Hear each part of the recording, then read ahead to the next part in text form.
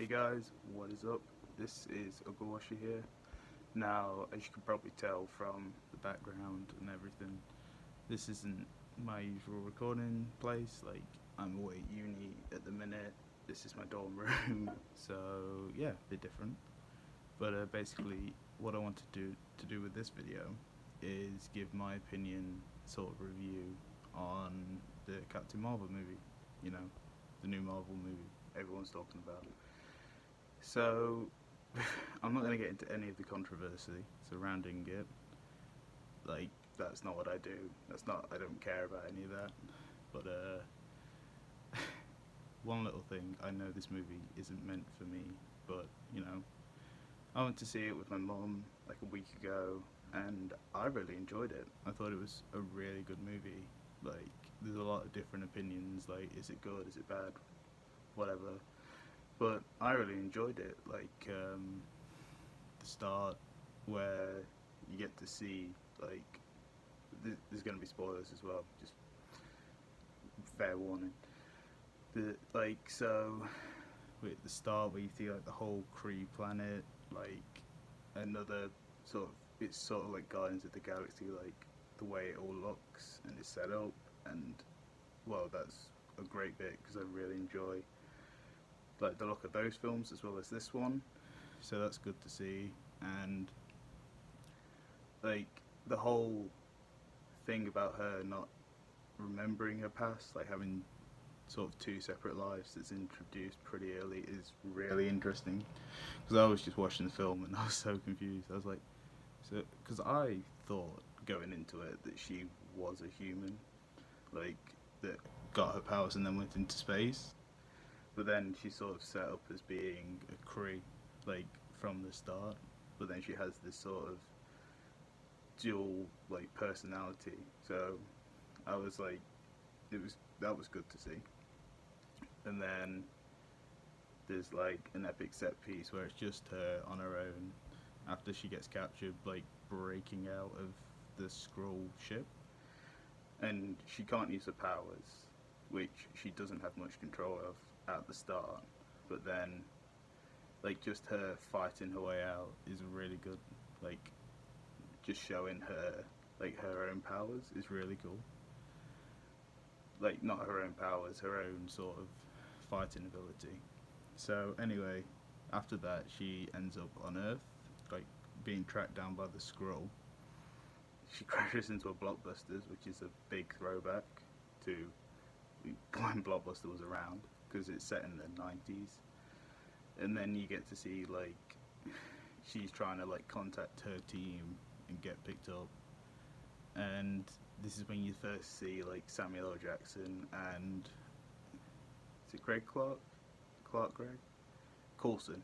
You get to see Coulson and Fury and they look like the makeup or the CGI or whatever they used looks really good on them. Like to make them look younger. It's really good like a lot better than you know Rogue One and the whole Leia and Tarkin thing. So, and then it's just all about her trying to find out, like, remember her past life and what happened to her while she's being hunted down by like the Skrull, and that's it's well really interesting because again spoilers like the head of Shield is like a Skrull, like he changed and then um, so it's basically Fury's with him trying to like capture Mar- Captain Marvel again, or Carol, or Ver- no Vers as she's called. But you find out that out later on. Like she is Carol Danvers from Earth, but everyone calls her Vers for a reason. I'll get into later. So basically, you find out that she was from Earth. She had a whole life on Earth. Like she was a test pilot for this doctor who was actually a Kree and they were attacked by, uh, I think they were attacked by a Kree, got shot down, and she had a dog tag which said like Carol Danvers on, but it's been like basically blown apart. So you see like Carol Dan, and then she has Vers, which is like the name of the Kree who found her. So that's what she goes by. And then she finds like her old friend who she's had memories of, like memories of her, mem- like going out to like bars and drinking and flying with her, and of her her friend's daughter as well, who's actually like they're both really good supporting characters. Like the daughter for you know kid actors, how they have a reputation. Like she's really good.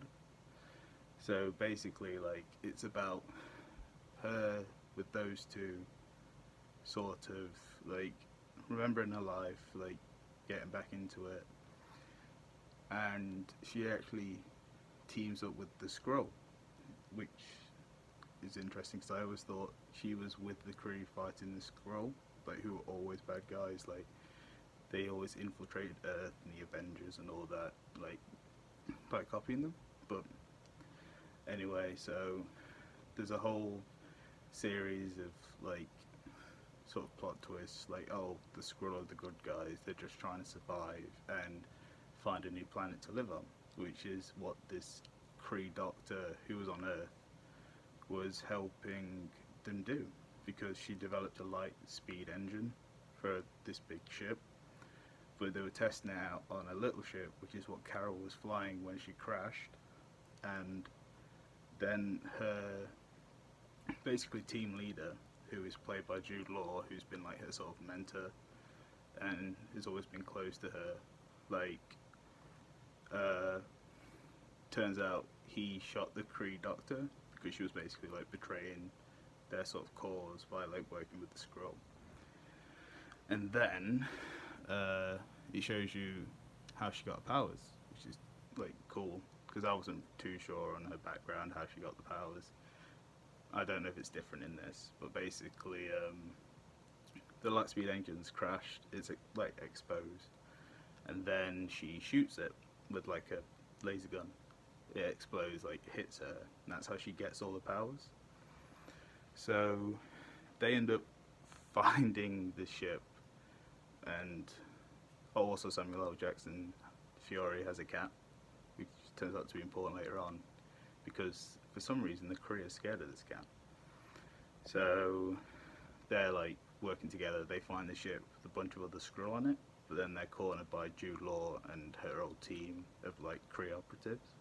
They're like a special forces team. So then, like, um, there's a big fight.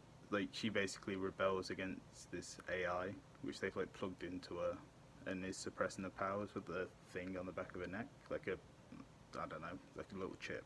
Which basically tears that off, gets all the powers back. Like, this is just a short synopsis. I realise I'm not going into full detail. And then like the best bit of the film starts where she has all her powers like she has like basically super saiyan aura like glowing eyes hair she's just flying around like destroying ships and everything and it's just amazing but then oh also when she rebels against the AI there's quite a strong like female empowerment moment where it's like her whole life she's been told like oh you can't do this you can't do that because uh, you're a girl she like, and there's just a montage of her like standing up against sort of the injustice that's happened to her, which is pretty cool. And then, so she's destroying all these ships flying around.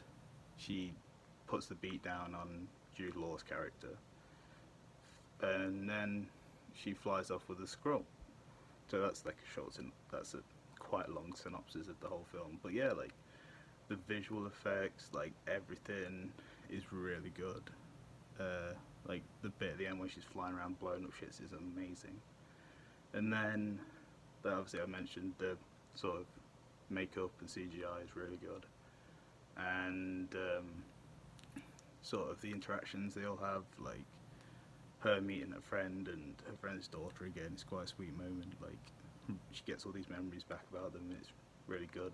And also like the chem chemistry she has with Fury is quite funny together. Like just the way they play off each other and interact. So yeah, so that was just my opinion on Captain Marvel. So tell me if you tell me what you think in the comments. You know, follow me, subscribe, like, comment, everything, and I'll see you all later, guys. Bye.